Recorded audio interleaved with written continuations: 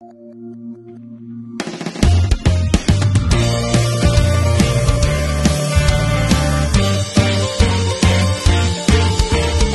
းလုံးပဲမင်္ဂလာပါရှင်ကျွန်မဒီနေ့ဖတ်ပြပေးခြင်းတဲ့စာအုပ်လေးကတော့ဆရာဝင်းငိမ့်ဘာသာပြန်ထားတဲ့ Prince Harry ရဲ့လူပိုအပိုင်းဆက်လေးလီဆိုတိုကလှပတဲ့နိုင်ငံလေးတစ်ခုဖြစ်ပါတယ်ဒါပေမဲ့ကမ္ဘာပေါ်မှာဆက်စုပ်စရာအကောင်းဆုံးနိုင်ငံတစ်ခုလည်းဖြစ်နေပါတယ် ကမ္ဘာပေါ်မှာဖြစ်ပွားနေတဲ့ AIDS ယောဂါရဲ့အဓိကနေရာတစ်ခုဖြစ်နေလို့ပါပဲ2004ခုနှစ်မှာအစိုးရကိုယ်တိုင်ကကုသပေးစရာဆေးမရှိတော့ပါဘူးလို့ကြေညာထားတဲ့နိုင်ငံလည်းဖြစ်ပါတယ်။ထောင်ပေါင်းများစွာသောသူတို့သိဆုံးကုန်ကြတဲ့အတွက်မိဘမဲ့ကလေးငယ်တွေအများဆုံးနိုင်ငံဖြစ်လာတယ်။ဟိုနေရာဒီနေရာတွေမှာပြေးလွှားနေကြတဲ့ကလေးငယ်တွေကိုမြင်တွေ့နိုင်ပြီးတော့သူတို့မျက်နှာလေးတွေကခိုကိုးရမဲဖြစ်နေတာကိုမြင်နိုင်ပါတယ်။ ဒေဒီဗမာလေးမမီဗမာလေးလို့သူတို့မျက်နှာလေးတွေကတန်းတာနေကြသလိုပါပဲ။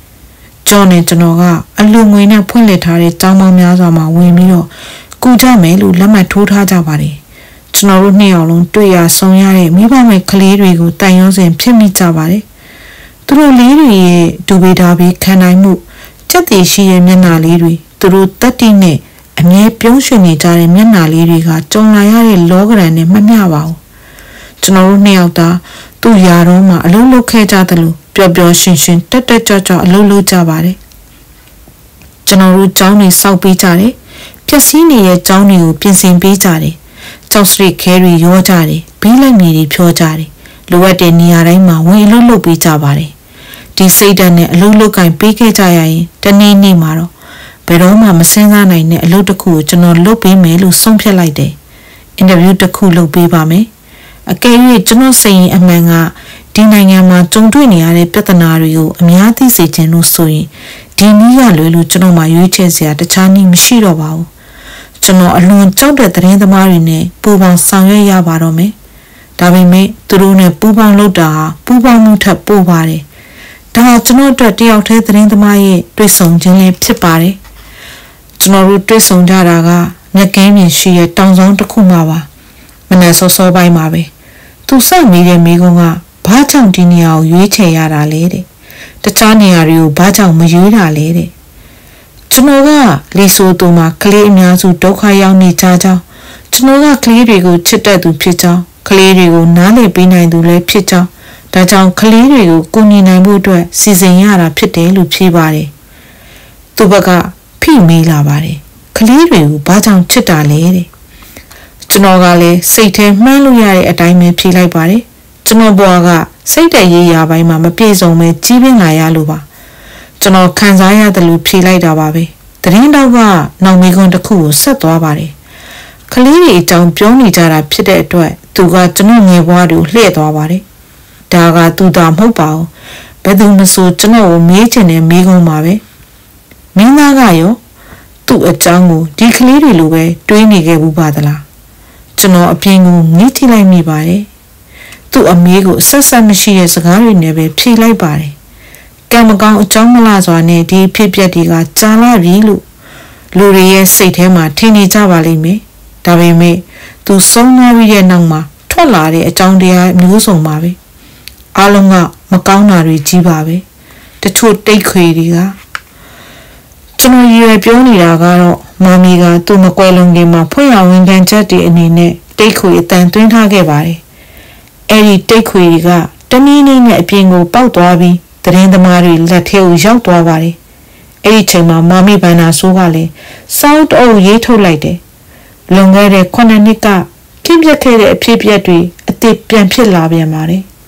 ။အမှန်ကတော့အတိတ်ပဲမရှိတော့ပါဘူး။ 1998ခုနှစ်မှာဖီလင်တနိုင်ငံလုံးတည်ပြီးသားအကြောင်းအရာတွေပါ။အားလုံးကလက်ခံခဲ့ကြတာကလည်းသတင်းသမားတွေကြောင့်သာမာမီကွယ်လွန်ခဲ့ရတာကိုအဖြစ်တင်ခဲ့ကြပါတယ်။ကျွန်တော်တို့အားလုံးကောင်းကောင်းမွန်မွန်ပြန်လုပ်ကြဖို့လိုပါတယ်အများစုကလည်းပြောကြပါတယ်အခုနှစ်တွေအတော်ကြာလာတဲ့အချိန်မှာအားလုံးကလည်းဒါတွေကိုမေ့သွားကြပါပြီတမိုင်းဆိုတာနေ့စဉ်နေ့မြတကြောပြန်လည်နေတာပါ ဒါကြောင့်ကျွန်တော်သတင်းတောက်တွေကိုရှက်စရာကောင်းတယ်လို့ဖြေလိုက်ပါတယ်အလွန်အမင်းအရေးပါလာတဲ့ကြော်ညာချက်ကလည်းမဟုတ်ပါဘူးဒါပေမဲ့ဝီလီသို့မဟုတ်ကျွန်တော်တို့နှစ်ယောက်ထဲကတယောက်ယောက်ကမာမီနဲ့ပတ်သက်ပြီးပထမဆုံးထုတ်ပြောလိုက်ကြတာဖြစ်သွားတယ်ကျွန်တော်ကအရင်ထုတ်ပြောလိုက်တယ်လို့လည်းဖြစ်သွားပါတယ်ဘယ်တော့မဆိုဝီလီကသာဥဆောင်နေကြပါခုတော့ကျွန်တော်ကအရင်ထုတ်ပြောလိုက်တယ်လို့လည်းဖြစ်သွားခဲ့ပါတယ်ဒီအကျိုးဆက်ကဘာဖြစ်လာမလဲဝီလီဘာပြောမလဲ သူတစ်ဖြစ်ပါရောပါထင်မလဲနောက်တော့မာကိုကကျွန်တော်ကိုပြန်ပြောပြပါတယ်ပါကကျွန်တော်ပြောလိုက်တဲ့ပတ်သက်လို့ဘာမှမပြောပါဘူးလို့ဆိုပါတယ်သူကသူ့သားတွေအနေနဲ့မမီနဲ့ပတ်သက်လို့ဘာမှမပြောစေချင်တာတဲ့ပြောလိုက်ရင်လည်းအစ်စ်ပြန်ဖြစ်လာပြီးတော့ကင်မီလာအပေါ်မှာအပြစ်ပုံကြမှာစိုးလို့ပါတဲ့နောက်ဆုံးအနေနဲ့ကျွန်တော်ကသတင်းတောက်ကိုမကောင်းတဲ့သတင်းတွေကတော့ပိုရောင်းကောင်းတာပေါ့ ဒါကတော့ရှင်းရှင်းလေးပါလို့ပြောလိုက်ပါတယ်မကောင်းတဲ့သတင်းဆိုတဲ့အရေးသားစကားပြောမှာတော့သတင်းတောက်ကလောလောဆယ်ကျွန်တော်နဲ့ပတ်သက်ပြီးတော့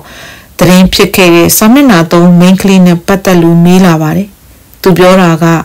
တချို့ကပြောနေကြတယ်ကျွန်တော်အနေနဲ့ဆေးဖြတ်စကန်ကိုတွားခဲ့တဲ့ဆိုတာနဲ့ပတ်သက်လို့ဘာတွေများလေးလာလို့ရခဲ့ပါသလဲတဲ့သူမေးလိုက်တဲ့စကားလုံးထဲမှာတောင်းနေတော့ပါသလား ဆိုရဲစကားပါမပါတော့ကျွန်တော်မမှတ်မိတော့ပါဘူးဒါပေမဲ့သတင်းစာဆောင်တစ်ဆောင်ကတော့ထည့်ရေးထားတယ်ဟယ်ရီကိုပြုပြင်ပြောင်းလဲပေးဖို့လိုသလားဟယ်ရီကဒိတ်ထီလားသတင်းတောက်ကဘယ်စကားကိုကောက်ယူပြီးဒီလိုခေါင်းစဉ်တွေတက်ကြရဲဆိုတာကတော့ကျွန်တော်မသိပါဘူးကျွန်တော်တို့ဘာအကြောင်းအရာကိုပြောကြလို့လဲကျွန်တော်တမန်အနေထားမဟုတ်ဘူးဆိုတာတော့ကိုကိုကိုသိလိုက်တယ်တရင်တောက်တောင်ပါဆက်ဟာပြီးအံ့ဩသွားတယ် သူကတော့သူကြိုက်တဲ့ခေါင်းစဉ်တက်တာပေါ့ကျွန်တော်ကမူရစေဝါသားကောင်ဖြစ်နေလို့လားကျွန်တော်ကတမန်ချင်းနေဆိုတဲ့ပတ်သက်ပြီးတော့ဘာကိုဆိုလိုတာလဲဆိုတာကိုရှင်းပြပါတယ်ဘာကြောင့်လဲဆိုတော့သူအယူဆလွဲသွားမှဆိုလို့ပါကျွန်တော်တို့အဖေကတော့တတိပေးပါသေးတယ်ဝီလီနဲ့ကျွန်တော်ကတာမန်အခြေအနေမဟုတ်ဘူးလို့ဝီလီနဲ့ကျွန်တော်ကတော့နားလဲပါတယ် ကျွန်တော်တို့နေရတဲ့ဘဝကငါးကန်ထဲမှာအလှမွေးထားတဲ့ရွှေငါးလေးတွေလိုအနေချင်းကျက်လာပါတယ်ကျွန်တော်တို့အတွက်ကသူများတကာတာမန်ကိစ္စတစ်ခုမျိုးကျွန်တော်တို့လုံးမိရင်လည်းပုံမှန်မှုတဲ့ကိစ္စဖြစ်သွားရောကျွန်တော်ပြောချင်တာကအဲ့ဒါပါပဲစကားစပြောမလို့လုပ်ပြီးတော့မှတောင်ဆောင်ဘက်ကိုကြည့်လိုက်မိပြန်ပါတယ်။စင်ရဲမွေးတေခြင်းယူယောဂထူပြောခြင်း မိဘမဲ့ကလေးတွေ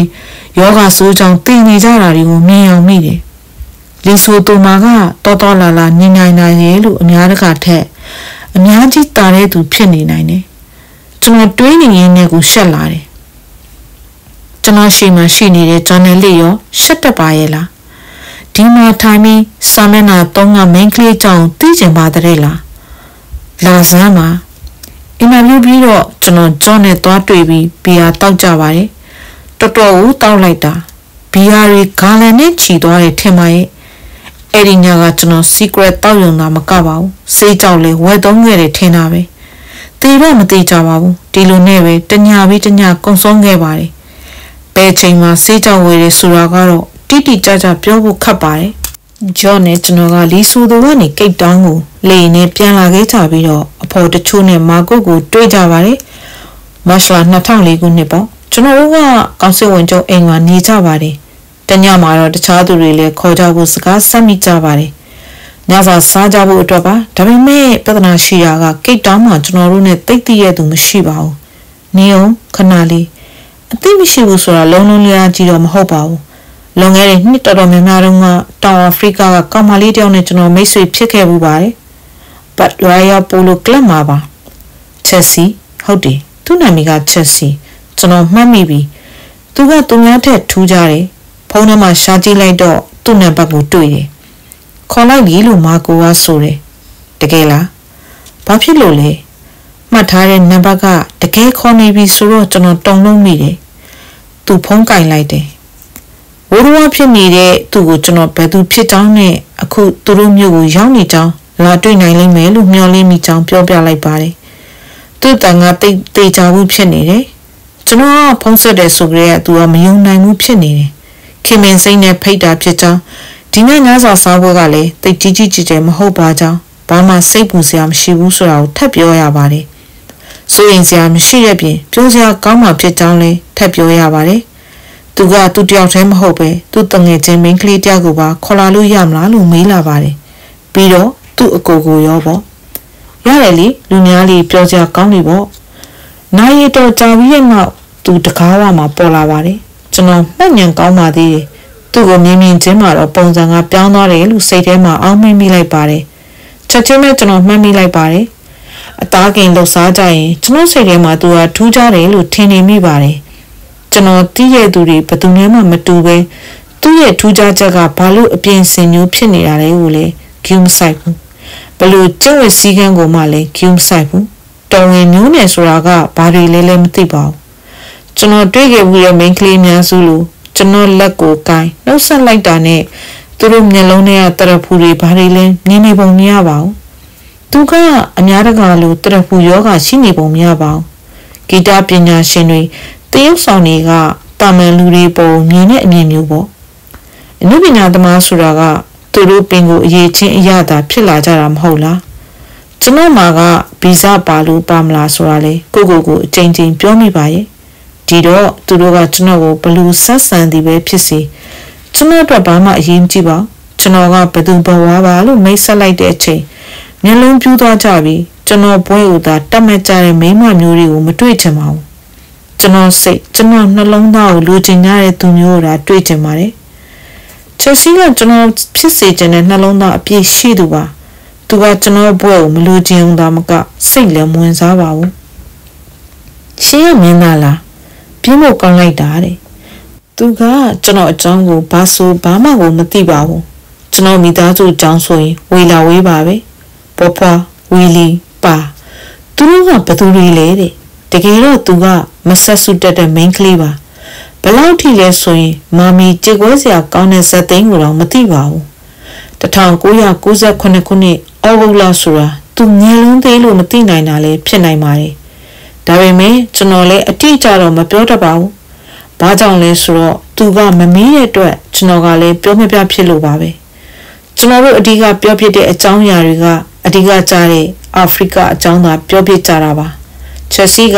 ဇင်ဘာဘွေမှာမွေးဖွားကြီးပြင်းနေတာဖြစ်ပြီးအခုသူကကိတ်တောင်းမှာနေနေတာပါ။အာဖရိကကိုသူကအသေးလိုက်ဦးလိုက်ချက်ပါတယ်။သူ့ဖေကဂိမ်းကစားလုပ်ငန်းထူထောင်ထားတာမို့သူကလည်းအဲ့ဒီမှာပဲပျော်မွေ့နေပါတယ်သူကဗီဒီရှာကျောင်းအိတ်ကျောင်းစားကျောင်းတစ်ကျောင်းဖြစ်တဲ့စတိုရီမှာစက်တက်ခဲ့မှုတဲ့ကျောင်းပိတ်ပြီးဆိုတာနဲ့အိမ်ကိုသာဒုံဆိုင်ပြန်တော့တာပါပဲကျွန်တော်ကနားလဲပါကြောင်းပြန်ပြောရပါတယ်အာဖရိကရောက်တော့မှသာ ကျွန်တော်ဘွားကအပြောင်းလဲဖြစ်ခဲ့ရပုံကိုလည်းချက်စီကိုပြောပြဖြစ်ပါတယ်ကျွန်တော်ဘွားရဲ့အပြောင်းလဲတွေပါပဲကျွန်တော်အိတ်နေတဲ့နေရာကိုစက်သွဝင်လာပုံကိုလည်းပြောပြဖြစ်ပါတယ်သူကခေါင်းညိတ်နေသူနားလေတယ်ကောင်းတယ်အာဖရိကကဒီလိုထူးဆန်းတဲ့အတွေ့အကြုံတွေပေးနိုင်တယ်လို့သူကဆိုတယ်ညနေခင်းမှာစကားတွေပြောကြရင်ကျွန်တော်ကမကြခင်စစ်တဲဝင်တော့မှဖြစ်ကြောင်းပြောပြပါတယ်သူ့ကိုကြည့်ရတာဘာမှစိတ်ဝင်စားလှုပ်ရှားမှုလည်းမရှိဘူးပြီးတော့ ကျွန်တော်ကဂျော့မာကိုနဲ့ကျွန်တော်တို့မနှက်ဖြန်ကြရင်ဘောဆန်နာကိုတွားကြမယ်အကြောင်းအဲ့ဒီနဲ့တွားမှဖြစ်တဲ့အကြောင်းမြစ်ကိုစံတက်တွားကြမှာဖြစ်လို့လိုက်ခဲ့ကြပါလားလို့ခေါ်ကြည့်ပါတယ်သူကဆက်ပြုံးလေးပြုံးပြီးခဏတွေးနေပါတယ်သူနဲ့တငယ်ချင်းတွေကလည်းတော့စရာကိစ္စတခုစီစဉ်ထားတာရှိရလို့ဆိုပါတယ်ဆိုပါပဲကွာလို့ကျွန်တော်ကညှိလိုက်မိပါတယ် သူကသူတို့အစီအစဉ်ကိုဖျက်ပြီးကျွန်တော်တို့နဲ့လိုက်ခဲ့ပါမယ်တဲ့သုံးရက်လုံးလုံးကျွန်တော်တို့လမ်းလျှောက်ကြရေကြတောက်ကြတလိษံတွေနဲ့ရိုးရိုးနှုံနှုံနေကြနဲ့ပျော်ခဲ့ကြပါတယ်တလိษံအရိုင်းတွေနဲ့တော့မဟုတ်ပါဘူးခံအားလျော်စွာမွေလံမှာဆရာတအုပ်နဲ့တွေ့လို့သူ့မွေဘွေးတွေမွေခလောက်တွေကိုကျွန်တော်တို့အတွက်တီးတန့်ထုတ်ပြပါတယ်။မွေတွေကိုသူ့လက်မောင်းတစ်လျှောက်ခောက်တုတ်ခောက်ပြန်သွားခိုင်းပြပါတယ်။ အဲဒီညကချက်စီနဲ့ကျွန်တော်ကြိမ်အောင်အောက်မှာပထမအဆုံးနမ်းဖြစ်ကြပါတယ်။အဲဒီချိန်ကြောကလည်းချက်စီနဲ့တငယ်ချင်းမလေးနဲ့မိုးမမြင်လေးမမြင်ချစ်ချမ်းဝင်နေကြပါပြီ။အချိန်တိုင်းတော့ချက်စီနဲ့သူ့တငယ်ချင်းမလေးတို့ကအိမ်မြန်ကြမှာဖြစ်ပြီးဂျောကလည်းဩစတြေးလျကိုပြန်မာကိုကလန်ဒန်ကိုပြန်ကြမှာဖြစ်ပါတယ်အပြန်လည်နှုတ်ဆက်ကြရင်ခွဲသွားကြမှာပါရုတ်တရက်ကျွန်တော်တယောက်တည်းဒီတောတောင်ထဲမှာကြံရင်မှာပါအခုဘာလို့မလို့လဲ ကျွန်တော်တို့မလန်းမကန့်မှာရုပ်ရှင်ရိုက်အဖွဲနှစ်ဖွဲတောကောင်တွေနဲ့တဘာဝရိုက်ကူးရေးအတွက်ရောက်နေကြတာကိုတွေ့ပါတယ်ကျွန်တော်တို့ကိုသူတို့ကမိတ်ဖွဲ့ကြပြီးသူတို့နဲ့လိုက်ပါကြည့်ကြဖို့ဖိတ်ခေါ်ပါတယ်ကျွန်တော်တို့ Land Cruiser ကားပေါ်ခုန်တက်ကြပြီးအဖွဲ့သားတွေနဲ့တပြော်တပါးတွေယောက်ျားတွေမိန်းမတွေတောက်ကြစားကြကကြနေပေါ့သူတို့အားလုံးကမျက်နှာတွေပေါ်မှာကပ်ပြားနဲ့ဒါမှမဟုတ်ရေပိုက်တန်ရှင်းလောက်တာတွေနဲ့ တလိษံတွေရဲ့မျက်နှာပုံတွေကိုလှုပ်ပြီးတတ်ထားကြပါတယ်။အိုကာဗန်ဂိုပွဲတော့ကြာနေတာပါပဲ။သူတို့အဖွဲ့တွေရဲ့ခေါင်းဆောင်တွေကအသက်30တွင်လောက်ရှိပြီးတော့ဇနီးမောင်နှံနေပါပဲ။နမီတွေက Tish နဲ့ Mike ပါပဲ။သူတို့ကရုပ်ရှင်ထုတ်လုပ်သူတွေပါ။ရုပ်ရှင်ကုမ္ပဏီကိုပိုင်ကြတဲ့ပြင်အခုသူတို့စကန်ချနေတဲ့နေရာကိုလည်းပိုင်ကြပါတယ်ကျွန်တော်ကကိုကိုကိုမိတ်ဆက်လိုက်ပြီးတဲ့နောက်တကယ်စွန့်စွန့်စားစားလာရိုက်ကြတာဖြစ်လို့ဂုံပြူပါတယ် ပြောလိုက်မိပါတယ်သူတို့ကရေးလိုက်ကြပြီးကျွန်တော်ဂုံပြူစကားအတွက်မနှက်ဖြန်ကြရင်ပေးပါမယ်လို့ဆိုကြပါတယ်ကျွန်တော်နှစ်ယောက်လုံးအလုံးလုံးကြဖို့မနှက်စောစောထားကြပါတယ်ကျွန်တော်ကရုပ်ရှင်ရိုက်တာကြည့်ကျင်လို့လိုက်လာလို့ရမလားလို့မေးကြည့်ပါတယ်သူတို့ကကျွန်တော်ဘယ်သူပဲဆိုတာသိနေကြတော့ကျွန်တော်ကိုခြုံထဲမှာနေခိုင်းမှုမသိတော့ဘူးလို့ထင်နေကြတယ်။ရိုက်ကွင်းမှာကုညီမှာပါလို့ပြောရဖို့လေတိတ်ခတ်နေပုံရပါတယ်။မိုက်က လိုက်ချင်နေဆိုရင်တော့လိုက်လို့ရပါတယ်။ဒါပေမဲ့အလုပ်တော့လုပ်ရလိမ့်မယ်။လေးနံလည်းတစ်တာတွေကိုထမ်းရမယ်။ကင်မရာတွေလည်းမားရမယ်လို့ဆိုတယ်။သူတို့မျက်နှာကြည့်လိုက်တာနဲ့ဒီလိုပြောလိုက်ရင်ကျွန်တော်နောက်ဆုံးနေလိမ့်မယ်လို့ထင်နေကြတယ်။ကျွန်တော်ကပြုံးလိုက်ပြီးရတာပေါ့လို့ဆိုလိုက်ပါတယ်သူတို့လှုပ်ခတ်သွားပြီးတော့ကြည်လဲကြည်နဲ့သွားကြပါတယ်။ဘာနဲ့တူတယ်လဲဆိုတော့မြင်မြင်ချင်းမင်းချစ်မိရဲ့ဆိုသလိုပါပဲ။နှုံးနှစ်ဖက်ကြည်နဲ့ကြတယ်။ တိမနဲ့မိုက်ကအာဖရိကန်တွေပါ။တိကကိတ်တောင်းမှာဖြစ်ပြီးတော့မိုက်ကနာရိုဘရီကပါ။တိကအီတလီကမွေးပြီးမြို့ဘမီလန်မှာနေခဲ့တာပါ။မီလန်ဇာတိဖြစ်နေတာကိုသူကဂုဏ်ယူနေပါတယ်ငယ်စဉ်ကအီတလီစကားသာပြောခဲ့ပေမဲ့ကြီးလာတော့သူမေးကုန်ပြီလို့ဝမ်ပန်တနဲ့ဆိုပါတယ်။ဆေးရုံသွားရတဲ့အခါမျိုးမေးစည်းပြီးတဲ့အခါမျိုးမှာသူ့ပါဇက်ဖျားကအီတလီစကားသံပြပြတတ်တာထွက်လာတတ်တာမို့အားလုံးကအံ့ဩကြရပါတယ်။ မိုက်ကလေတော့မှကြီးပြင်းခဲ့သူပါ။သူလမ်းဆလျှောက်တက်ပြီးမကြခင်မှာပဲမြင်းစီတက်လာခဲ့ပါတယ်။ကံကောင်းကျင်တော့သူတို့အိမ်ကြီးချင်းကတောရင်တလိษံတွေအကြောင်းပထမအဆုံးရွှေရှင်ရိုက်ကူထုတ်လုပ်ခဲ့သူဖြစ်ပါတယ်။မိုက်ကအားလက်ချိန်ရပြီဆိုတာနဲ့ဒီအိမ်ကြီးချင်းစီပြေးပြီးသူသိကျင်သမျှမေးခွန်းတွေကိုမေးတော့တာပါပဲမိုက်ကသူ့ဘဝသူ့ကိုစိတ်ဝင်စားဖြစ်ခဲ့သလိုအိမ်ကြီးချင်းကလည်းလက်ခံပါတယ် တင်းနဲ့မိုက်ရဲ့နှစ်ယောက်စလုံးဘဝတော်ကြတယ်ညင်ရီထက်တယ်သူတို့ဘဝကိုတော်ရင်တလိษံရဲ့တဘာဝအတွက်မြုပ်နှံထားတယ်ကျွန်တော်ကသူတို့နှစ်ယောက်နဲ့ဒီခီးစဉ်အတွက်တာမကပဲထာဝရမိတ်ဆွေတွေဖြစ်ဖြစ်သွားခြင်းပါတယ်သူတို့ကရောဖြစ်ကျင်ကြပါမလားမကြခဏဆိုသလိုတိကကျွန်တော်ကိုငေးဆိုင်ကြည့်နေတတ်တာသတိထားမိပါတယ်ကျွန်တော်တွေးသွားတဲ့အခါဆက်ဆူရဲ့အပြုံးမျိုးကိုသူပြုံးပြတတ်ပြန်ပါတယ် သူတို့နှစ်ယောက်အတွက်တော့ကျွန်တော်ဟာသူတို့တဲကိုဝင်လာတဲ့တားရဲ့တလိษံတကောင်ဖြစ်နေရင်တူပါရဲ့ဒါပေမဲ့ကျွန်တော်ကိုမောင်းမထုတ်ကြပဲအတုံးလေးမချပဲကြောတဲ့ရင်သက်မွေးမြူထားကြသလိုပဲဆယ်စုနှစ်ပေါင်းများစွာတော်ရင်တလိษံတွေအကြောင်းလေးလာထားကြသူတွေမို့တိနဲ့စိတ်ထဲမှာအယိုင်းစိတ်ဆိုတာကိုလည်းလားလဲလျင်ရှိပါတယ်။မြောက်စလုံးကကျွန်တော်ရင်ထဲမှာဖြစ်တည်နေတဲ့အယိုင်းစိတ်တွေကိုနားလည်ကြသလို ပျောက်ဆုံးနေတဲ့ယဉ်ကျေးတဲ့စိတ်ကိုလည်းနားလည်ပြီးကြပါတယ်။သူတို့ကကျွန်တော်ရင်ထဲမှာကြံနေသေးတဲ့အရင်စိတ်ကိုပြုစုပြိုးထောင်ပြီးလို့စိတ်ရှိနေကြပါတယ်။ခြားသူတွေကတော့ကြံနေသေးတဲ့အရင်စိတ်ကိုပါကိစ္စတုံးလိုက်ကြပြီးကျွန်တော်ကိုလှောင်အိမ်ထဲကိုထည့်ထားခြင်းကြသူတွေပါခီးသွားကြရင်သူတို့နှစ်ယောက်ဘလို့စုံစည်းသွားကြတာလဲလို့မေးကြည့်တော့နှစ်ယောက်စလုံးအပြစ်ရှိသူတွေလို့ပြုံးကြပြီးမိုက်က နှစ်ယောက်လုံးနဲ့တည့်ရဲ့မိတ်ဆွေကတဆင်အောင်သွယ်ပေးမှုကြောင့်လို့ဆိုတယ်တိကတော့မမျော်လင့်မဲ့ချစ်မိသွားကြတာပါလို့ရှက်ပြုံးပြုံးရင်းဖြေပါတယ်နေရာကတော့စားတောက်ဆိုင်တစ်ခုမှာပါတယ်တီကဆိုင်ထဲကိုအရင်ရောက်နေပြီးတော့အဝင်ဝါကိုကြောပေးထိုင်နေတယ်ဒါပေမဲ့မတ်ဝင်လာပြီဆိုတော့အတန်ကြားတာနဲ့သိနေပါတယ်မိုက်ဝင်လာပြီဆိုတာသိလိုက်တာနဲ့တပြိုင်နက်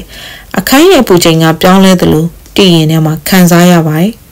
ဒုက္ခတော့ရောက်ပြီလို့လည်းတွေးမိတယ် ဒါပေမဲ့သူတို့နှစ်ယောက်အဆင်ပြေပြေနဲ့ညသာစားဖြစ်ခဲ့ကြတယ်နောက်တစ်နေ့ကျတော့တိကမိုက်ရဲ့ရှိရဲ့နေရာကိုသွားပြီးကော်ဖီတောက်တောက်ပါတယ်ဒါပေမဲ့အခန်းထဲဝင်လိုက်မိတာနဲ့တိ3 limited ဖြစ်သွားပါတယ်မိုက်ရဲ့စောင်းစင်မှာသူ့အဖိုးကန်ဝင်သိပ္ပံပညာရှင်အစီဆရာရောဘတ်အာဒရီရဲ့စောင်းတုပ်ကိုမြင်လိုက်မိလို့ပါပဲအဖိုးရဲ့စောင်းကိုတွေ့ုံသာမကပါဘူးမရဲ့စောင်းစင်ပေါ်မှာတင်ထားတဲ့ပစ္စည်းတွေက တိအကြိုက်တွေထားတူတဲ့ပုံတစ်ထပ်တည်းတူနေတယ်တိပါဇက်ပေါ်ကလဝါးနဲ့အုံမိပါတယ်စိတ်တူကိုယ်တူရှိရဆိုတဲ့သင်္ကေတတွေကိုပြနေတာပါလားအဲ့ဒီနေ့ကစပြီးတိစ်ကသူ့အခန်းကိုမပြန်တော့ပါဘူးသူ့ပစ္စည်းတွေသိမ်းဖို့လူတော့မှသာပြန်มาတော့တယ်တဲ့အဲ့ဒီကသူတို့နှစ်ယောက်အတူနေခဲ့ကြတာသူတို့ကဒီအကြောင်းကိုစကန်ကမီးပုံဝေးမှာပြောပြခဲ့ကြတာပါမာကိုလည်းရှိနေတာဆိုတော့မီးပုံရဲ့အလေမှာပေါ့ သူတို့နှစ်ယောက်တော့ကတော့အမတန်အရေးပါတဲ့အကြောင်းအရာကိုပြောပြနေကြတာပေါ့တောက်နေကြအရက်ကိုတောက်ကြရင်ပြောနေကြအကြောင်းအရာကိုပြောနေကြပေမဲ့ကျွန်တော်စိတ်ထဲမှာသူတို့ပြောနေတာတွေကအမှန်တိုင်းပြောနေတာလို့ယုံကြည်ပါတယ်ကျွန်တော်ကြုံမှုတဲ့အထက်မှာသူတို့လိုအမှန်တိုင်းပြောနေတာကိုမခံစားမိတဲ့နေရာတွေရှိတတ်ပါတယ်ဒါကိုတိကနားလေတယ်သူတို့ကလည်းကျွန်တော်နဲ့နေရတာတကယ်အိမ်သားအရင်ချတယောက်နဲ့နေရတယ်လို့ခံစားရတယ်လို့ဆိုတယ် တိကကိုထင်တာကတော့မင်းရဲ့ခန္ဓာကိုယ်ကဗိဒိန်မှာမွေးတာဖြစ်ပေမဲ့နှလုံးသားဝိညာဉ်ကအာဖရိကမှာမွေးတယ်လို့ထင်တယ်တတ်မှတ်ချက်ချပါတယ်ကျွန်တော်ကြားလို့သမျှမှတ်ချက်စကားတွေထဲမှာစိတ်အကျဉ်းနဲ့ဆုံးပါပဲသူတို့နဲ့အတူလမ်းလျှောက်လိုက်စားလိုက်နေလိုက်ရတာရက်နေနေကြာလာတော့သူတို့ကိုကျွန်တော်ချစ်လာတဲ့အပြင်စိတ်ထဲမှာလည်းငြိမ်းချမ်းလာပါတယ်။ညီတော်မငြိမ်းချမ်းလာတာနဲ့မျှချက်စီကိုလည်းတွေးကြံစိတ်ပြင်းပြလာပါတယ်။ ဘာလို့ဖို့လဲလို့ကိုကိုပြန်မေးကြည့်တော့အဖြေကတော့မထွက်ပါဘူး။ကိတ်တောင်းကိုတောင်းဖို့ဆိုတာသတင်းသမားတွေမသိဘဲနေမှာမဟုတ်ပါဘူး။သူတို့သိရင်သွားရောဒီတော့အဓိကအကြံပေးကောင်းမောင်းပြီးသွားကြမယ်တဲ့။ကားနဲ့သွားမယ်ဟုတ်လား။ကောင်းတယ်။တကယ်တော့နှစ်ရက်တာမောင်းရပါတယ်။လမ်းတစ်လျှောက်လုံးအရက်တောက်သွားကြပြီးတော့အားမပြတ်အောင်လို့ချောကလက်တွေစားသွားကြပါတယ်။သူ့အိမ်ရှိရောက်တဲ့ချိန်မှာခြေထောက်မှာဖနှက်မပါပါဘူး။ သပင်တွေကလည်းရှုပ်ပွားလို့